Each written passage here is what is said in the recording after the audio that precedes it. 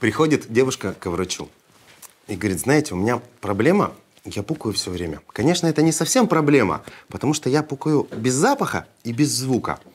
Тут говорит, ну, давайте я попробую вам помочь. Вот эти таблетки попейте недельку, через недельку приходите. Она приходит, говорит, доктор, доктор, это ужасно, я пукаю так же без звука, но так, но так вонюче. Так, с обонянием мы разобрались, сейчас будем лечить слух. Анекдоты не смешные, Анекдот читаю.